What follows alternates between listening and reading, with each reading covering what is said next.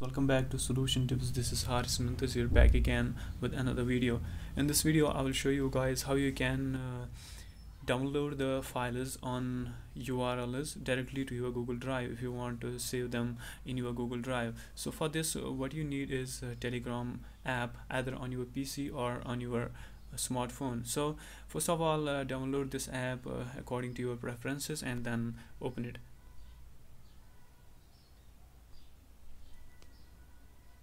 now as you have opened it uh, you can search here Google Drive X.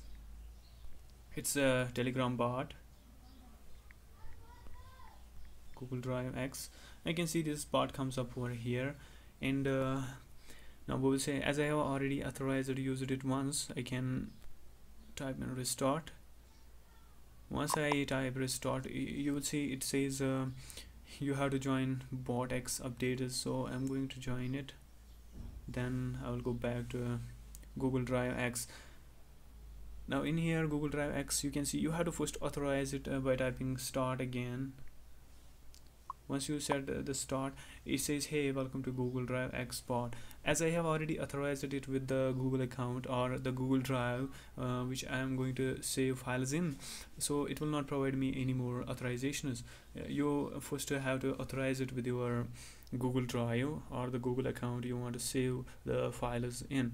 Now as i have uh, now what next we need is uh, we need a file direct url file uh, to download it directly to the Google Drive. Like I have this. You can either paste the link directly here uh, and uh, hit the enter button or just uh, to upload it faster you can type in fast then a space and then paste the link to the file. As I have this uh, Kali Linux uh, ISO file link here I am going to type in slash fast then space and then the link of the file and then hit enter. Now you can see it says beginning uh, file download. It uh, has calculated its size. It is 2.03 GB now next steps will be like this. It will show us information about the file upload. I can see the speed is 46.40 MB per second. As you can see it is 90% completed. Uh, until it gets uh, completed I will show you guys another bar like this. It is uh, known as Google Drive Uploader 2.0. This one is open source and best created by Cyberboy Sumanjay. You can also check out that one that uh, can be used for uploading large files as uh, this uh, Google Drive X does not uh, support uploading of large files due to this timeout uh, problem.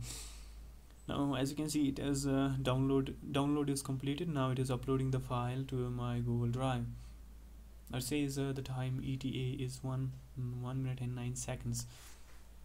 You can also check uh, different options uh, over here. This bot has uh, lots of options. This is free to use. You can see my files. You can check the files in Google Drive.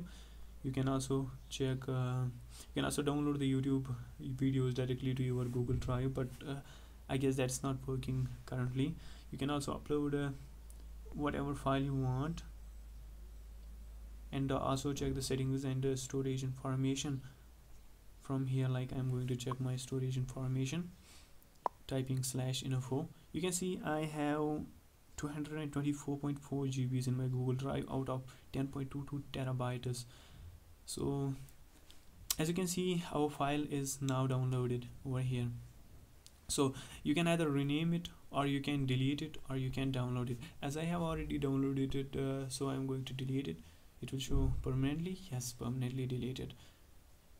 This was the way. Thank you guys for watching this video. If you find this helpful please like share and subscribe the channel solution tips for more videos like this